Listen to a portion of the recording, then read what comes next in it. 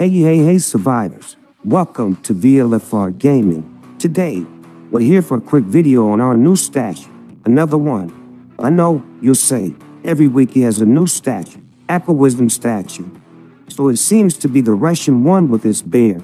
I don't remember its name. So, let's see what it looks like. The effect doesn't seem amazing. I'm not a fan. We'll have to see how it looks in reality. We unlocked it.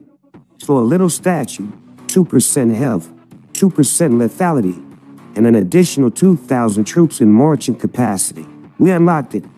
I used some tickets, but I don't think we'll be able to level it up enough. We'll have to play more.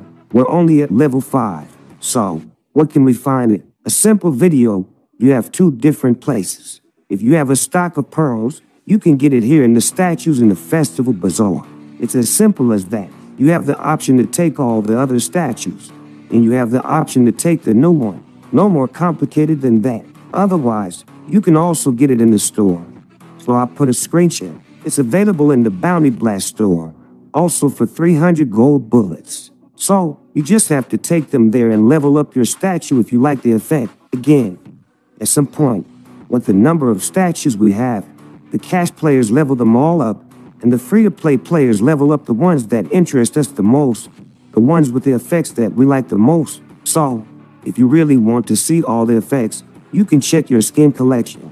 Go to your decorations, and when you go to one of your statues, you can see all the statues you have. You can directly level up to level 10 and see all the effects of the statues. Just level up the statue that interests you the most. As I said, I'm not a fan of this one.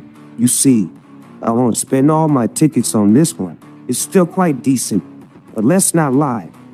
There are some that are really magnificent. So, in any case, our new Aqua Wisdom statue. It's up to you if you want to level it up.